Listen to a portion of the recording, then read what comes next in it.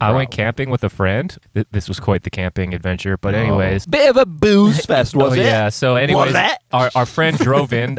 But our friend jumped on the back of someone's car, and then the back window exploded. And then the, the, the Oh, friend felt shit. bad, so he's like, Yeah. "Oh, let me help you." He's wasted, of course, and so he's just like scooping up broken glass with his bare hands, and it- of course, he Cutting just the like fuck out of slashed Oh, the yeah. fuck out of his hands. So his Oh, hands are just like no. bloody and disgusting. And he's like, "Oh, Oops. I'm gonna cauterize my hands in the campfire," and so he would just stick his ah. hand in the fire and be like, "Ow, it's hot."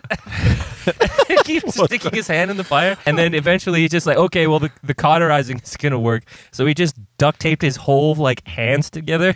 So we just had like these Rambo? You guys hang yeah, out with Rambo? Yeah, I was Duct hanging out with Rambo. So he just had like these duct tape oh, gloves on funny. for like the whole weekend. I don't know what happened to those injuries, but Probably cured. Something- That ridiculous.